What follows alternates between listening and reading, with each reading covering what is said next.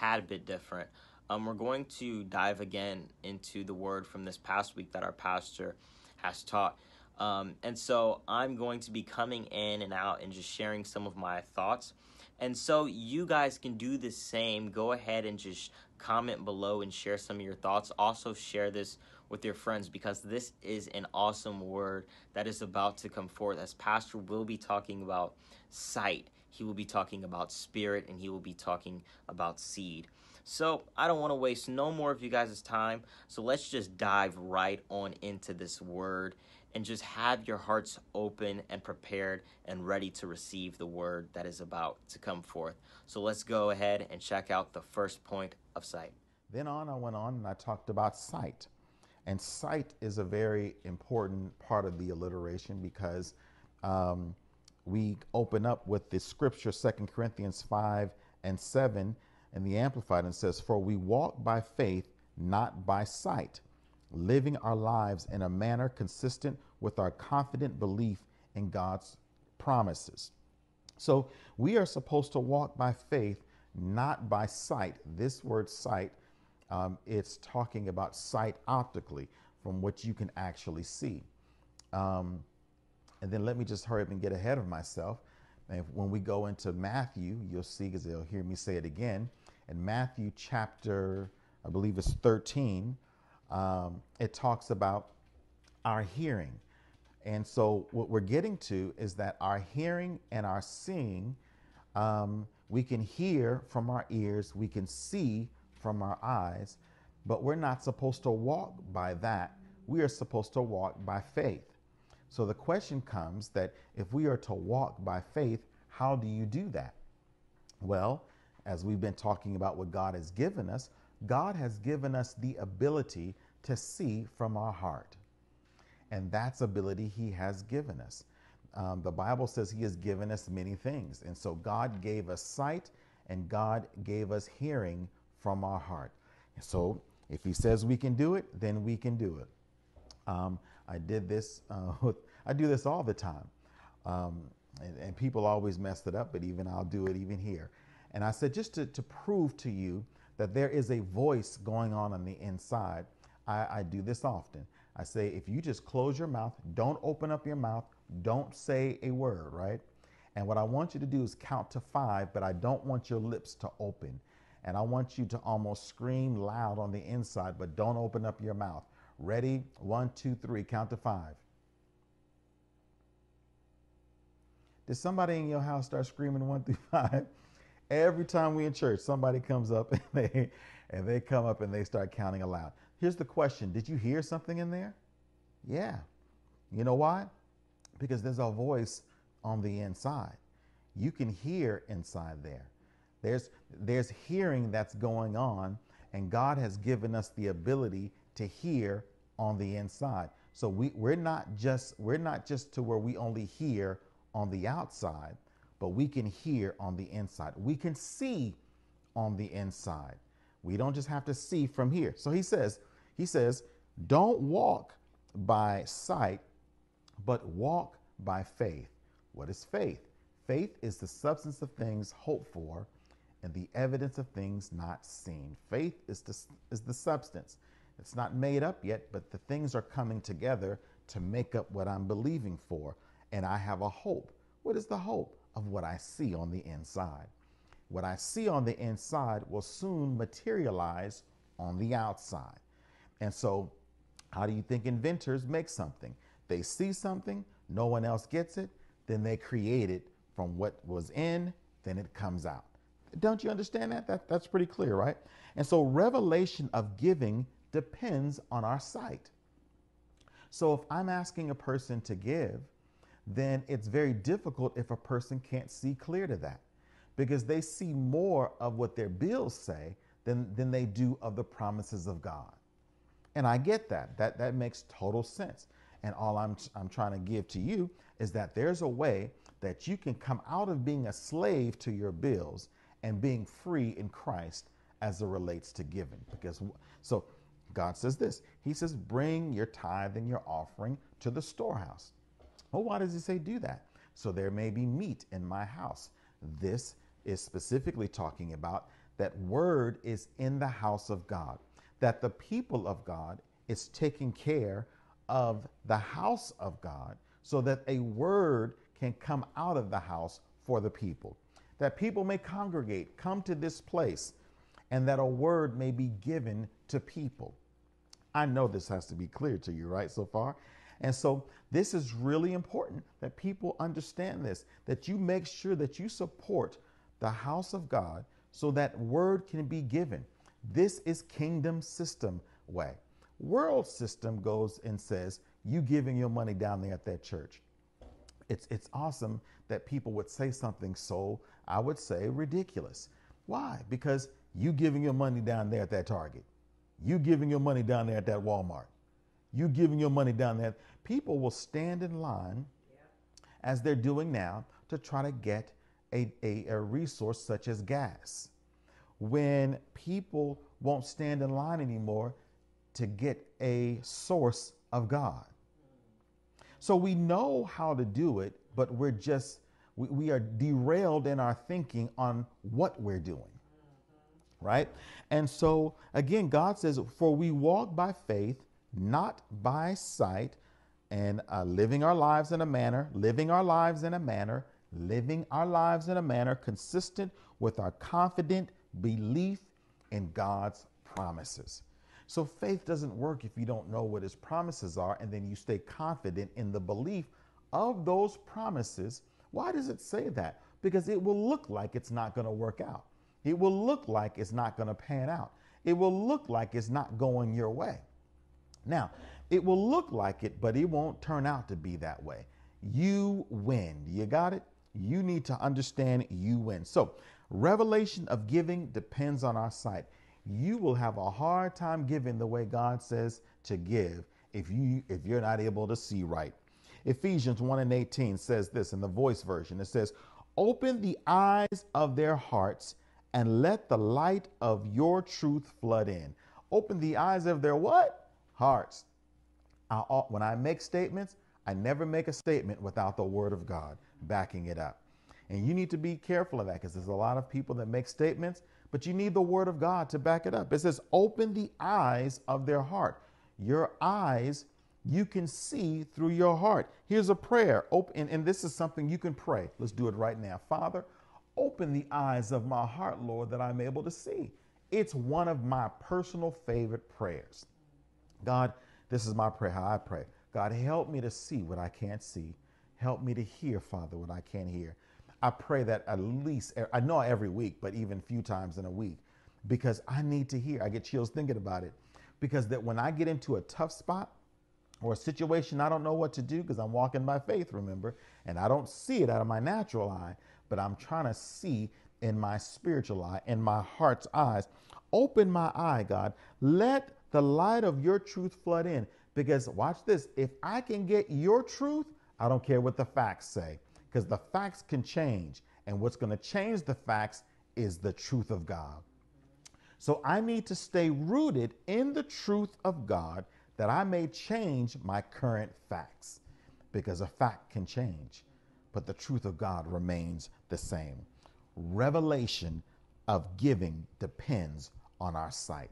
So if God says to do like the, the, the woman with the two mites and give all you have, you need to be giving all you have if God says that. Why? Because God has something for you um, right down the road that's going to be much greater than what was in your hand. The Bible says she gave two mites, very little, but it was a lot to her because it was all she had. God says this Jesus said, she gave more than everyone else because she gave out of the little that she had, which was a lot, when everyone else gave out of the abundance that they have. They gave to the level where they were still yet comfortable. She gave to the place where she was uncomfortable, which set her up for a miracle. It's amazing. People want the miracle, but they don't want to create a miracle. And so this is where she's like, I'm creating a miracle right now that something powerful is about to happen. Do you know you can create a miracle right now? Maybe you're listening to me right now and you said, Well, didn't we already give? You can still go and give now to say, I want to create a miracle seed. Amen. I want to give something to where I feel it. I want to give something to where it makes me uncomfortable. Now, you don't do this, and keep listening if you're not all the way there yet. You don't do this based upon your emotions. You do this based upon where you see in your heart. If you need some more word, I got it for you. Remember this point, uh, my alliteration for S. Revelation of giving depends on our sight. So then, if you're able to see from your heart in the way that you're supposed to, and you get revelation of that, then you need to go ahead and do just that. If you can't see, then I would I would stand down and I would hold to where you are because you're only seeing based upon what's in your bank account. I praise God that I see beyond my bank account. And because I do, I live beyond just what my bank account says. And to be quite honest with you, it aids in my bank account when I live in the kingdom way.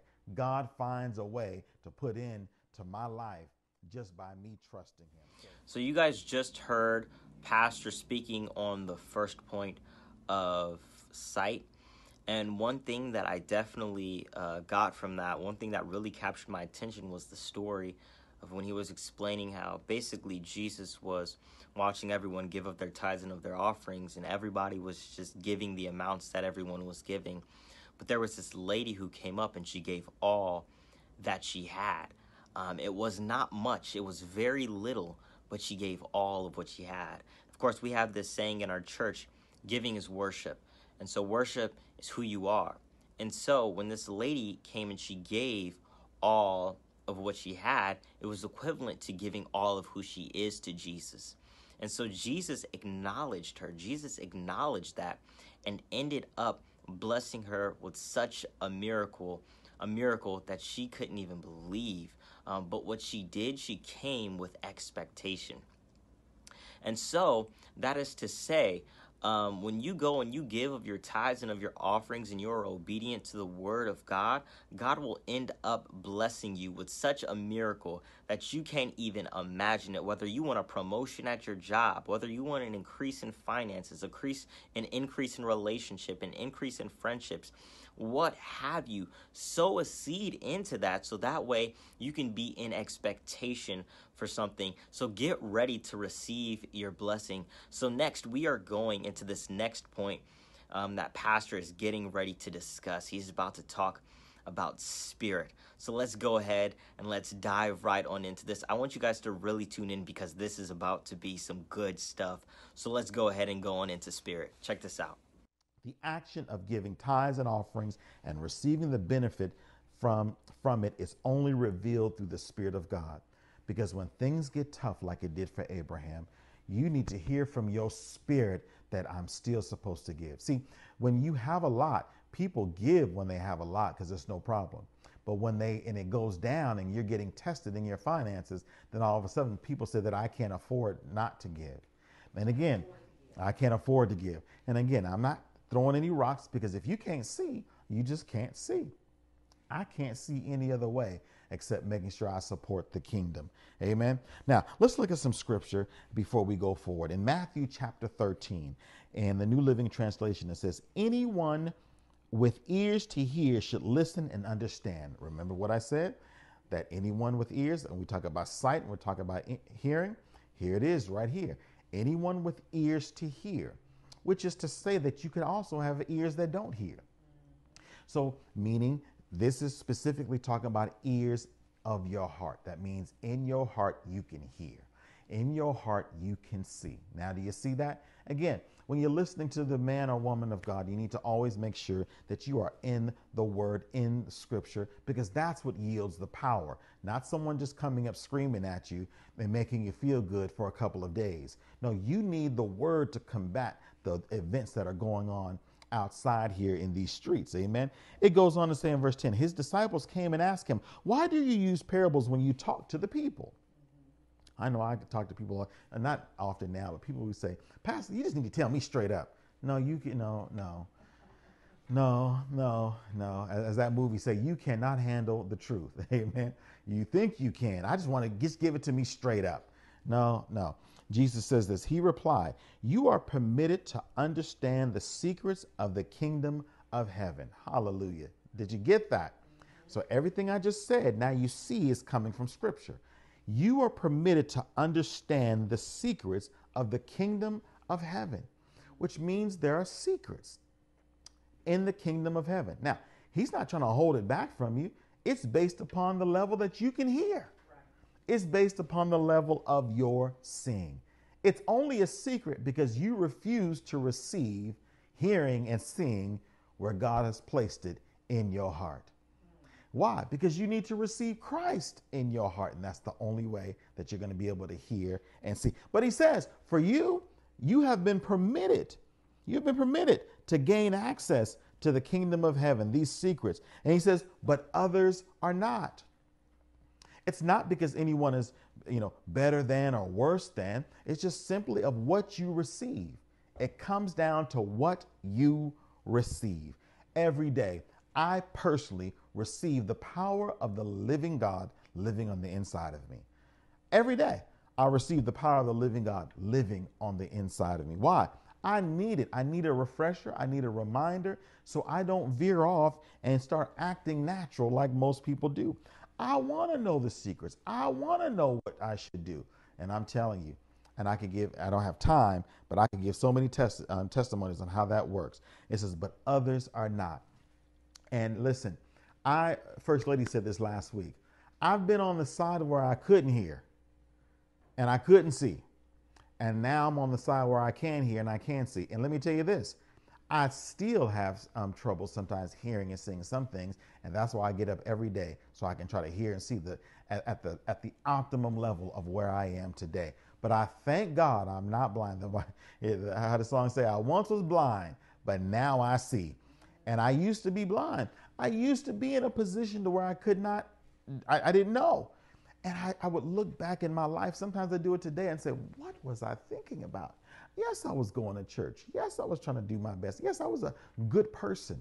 But that doesn't have anything to do with anything.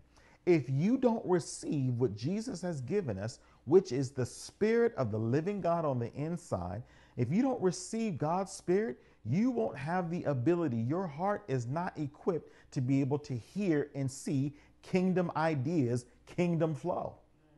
You, you, you're not going to be able to see that. Now, if you want to see that, just hang in here with me. You want to be in that number? Hang in here with me. It goes on to say, To those who listen to my teaching, here it is, I'm helping you now. To those who listen to my teaching, more understanding will be given. Do you see something is happening? So then, first, something has been given, teaching has been given, and then he said, What's going to come from that is more understanding. So if you're sitting there now, and if you're not doing like my son in law said, that you're taking a seat, that you're paying attention, and, and all of that, then guess what? You are jeopardizing your future because more is in your future if you could just sit down and grab a hold of this teaching. Now, look, I'm as about as relaxed as I can be. I feel I feel great. I feel that the Spirit of God is using me. I came here purposely for you. I feel like I'm filled with the power of the living God. I feel that the words that are coming out of my mouth are filled with power packed words that can move and shake your life to another existence if you could get a hold of the teaching. This is the type of teaching, and I did it on purpose that you can hear over and over and over again. I've given you, you know, word. I've given you the, the precepts of it. I've given you context of it. You have everything. But if you take the word and you let the word, which is seed, drop to the ground, then you won't get the harvest that you're looking for. It says, if you listen to my teaching, more understanding will be given. And it says, and they will have, listen, an abundance of knowledge. They will have an abundance of knowledge. We're not talking about money yet. We're not talking about a big house yet. We're not talking about, you know, a car yet. Because everybody wants, I want a brand new car. Look at God. I want a brand new house. It doesn't start there. See, God says, I want to make sure you have knowledge first. That's why he walked with Abraham for years before he gave him the thing that he really wanted in his son Isaac. You see, he made the mistake of saying, I heard God, had a relationship with God, made a mistake with Ishmael trying to help God. He and his wife did that. But it took them years later to understand no, because see, he didn't understand in his Ishmael days how to act in his Isaac days. He came with Isaac, so when he knew, see, God already knew, I'm to ask him for what I'm to bless him with. And I need him to be, I need him to uh, understand and have knowledge of who I am so he doesn't go off and try to do something and call it, say it's me that's doing it. No, see, you want you want a house, gain knowledge. What? Kingdom knowledge. You want a car, then gain knowledge. You want a relationship, gain knowledge. See, when you do that, then in that, God will give directions because in those things you're gonna want or you know gonna deal with, there will be persecution, there will be problems, there will be issues, there will be whatever in it. So, as you guys just heard in um, the second point that Pastor just talked about was spirit. And so, of course, he's coming from Matthew 13. And one of the things that it said was, You are permitted to understand the secrets of the kingdom of heaven. And one thing that I really appreciate um, what Pastor said was, It's not that it's a secret, it's just more so it's a secret because you haven't yet um, received it in your heart. You haven't yet opened up the ears of your heart to hear and to receive the secrets. And so it's not much more of a secret. It's just that you have to be willing to open yourself up to receive Christ in your heart so that way you can go and you can receive the secrets of the kingdom of heaven. It's almost like this. If you go to the bank and you get a credit card or they ended up sending you a credit card and you use that credit card without um, activating it first, your card is always going to be declined. Because in order for you to receive the benefits, you have to go and activate the card. The same thing um, with the Spirit of God. In order for you to receive the benefits, you have to go and activate your spirit by receiving Christ. He is the one who is going to give you Holy Spirit. And so you have to activate it. You have to receive His Spirit so that way you can go and receive the secrets that are in the kingdom of heaven for you guys. Um, and so, of course, now next we are getting ready to dive into our final point. So I want you guys to pay close attention because we are getting really good. So pay attention to this, and I'll see you guys in a second. Your future comes from the roots of seeds that you sow. Your future comes from the roots of seeds that you sow. In the book of Genesis, it says, While the earth remains, seed time and harvest. It says cold and heat, winter and summer, day and night. And it says, It shall not cease. This is a, a powerful um, principle that you must still understand. It goes right back again of tithing. Tithing is out. No, night and day ain't out. Cold and heat ain't out. Winter and summer ain't out. Y'all love singing about your summer songs. Yeah, yeah, yeah. It ain't out. It said it shall not cease. It's not something we sit around and deliberate on. It just is. Amen. It just is. Just like uh, a tithe is just that. even when he talked about it in Malachi, he was like, "What's wrong with y'all? Y'all know better than this." But that was to say, just bring forth your tenth and an offering. Right. We're now like for me and my wife, I understand we give 42% of our income. Why? Because we give in grace. I don't bring forth a quote unquote tithe. No, I'm doing as uh, it's an it's a pleasure to be able to give to the kingdom. Oh, my wife just said it's a joy. And yes, it is.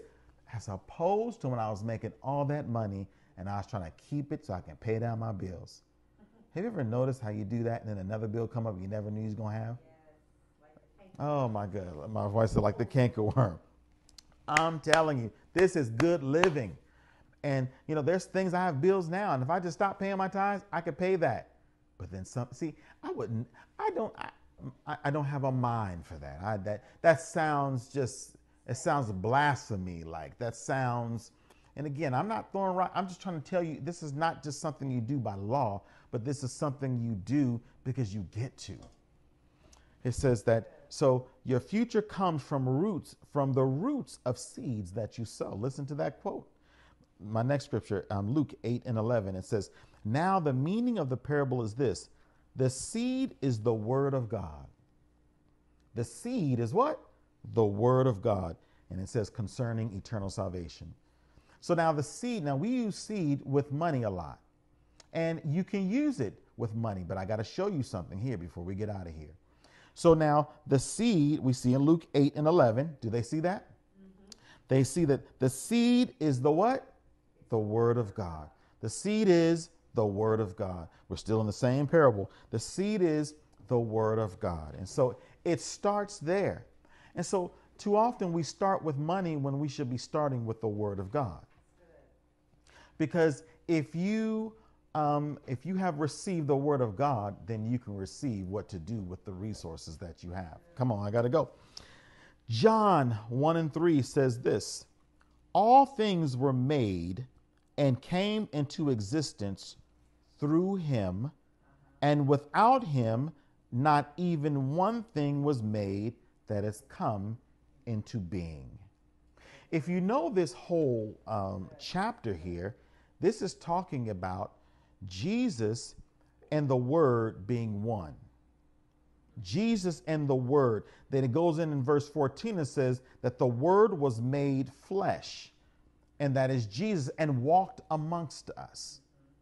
How does it start? In the beginning was the Word, and the Word was God, and the Word was with God.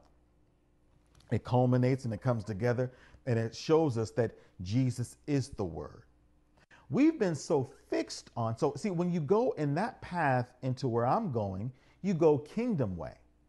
We've brought it world way to where we go, even we into some churches, we've taken money as it is in the world and say, bring it to this kingdom, quote unquote, kingdom system, but we're teaching it as like in the worldly way instead of coming down the lineage of the kingdom way.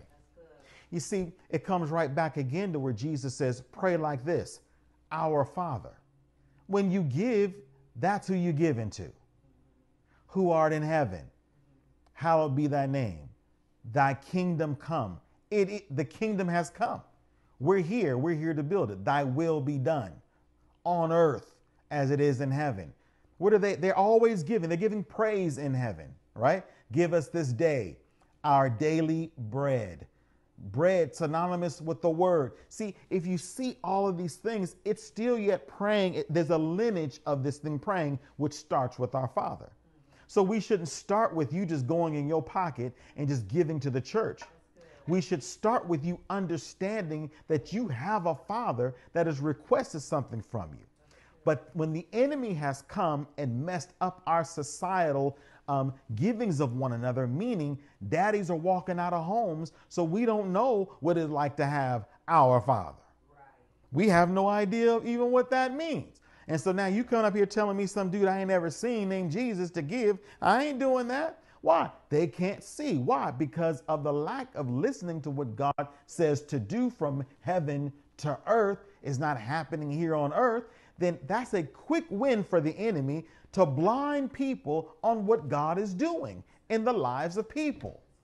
Oh, First Lady said, I want you to teach this, and I'm, I'm doing my best. I'm trying to teach y'all this, and you got to understand because money only follows you. I'm not giving because I have a whole bunch of money like that to give. I'm not giving because I just, you know, I'm doing it because that's where my life is. That's where my wife's life is. This is where we are. I'm not giving because I just have more than enough to give like that. I'm giving because that's where my life is. Our Father who is in heaven, my heavenly Father asked me to do something. My natural father asked me to do something, I'm going to do it. My heavenly father asked me to do it, got it done. He says this all things were made and came into existence through him.